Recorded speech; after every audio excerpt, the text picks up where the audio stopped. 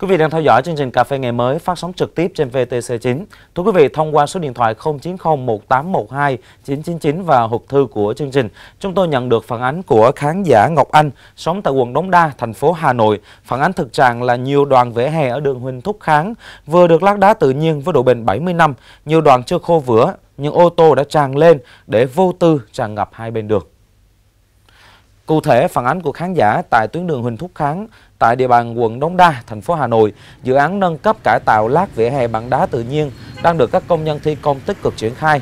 Tuy nhiên tại đây bộc lộ nhiều bất cập khi dự án này thi công chưa xong thì hàng loạt ô tô đã trèo lên vỉa hè đổ hàng dài dù có biển cấm đổ. Có đoạn dù vữa bê tông lát vẽ chưa kịp khô, thế nhưng người dân đã vô tư đổ xe. Điều này ảnh hưởng rất lớn đến độ kết dính giữa các khối đá cũng như thẩm mỹ của vỉa hè sau khi hoàn thiện.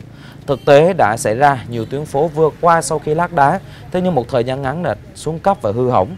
Hơn nữa việc ô tô đổ lên những vỉa hè khi đã lát đá như trên chắc chắn sẽ ảnh hưởng đến tuổi thọ và độ bền của công trình.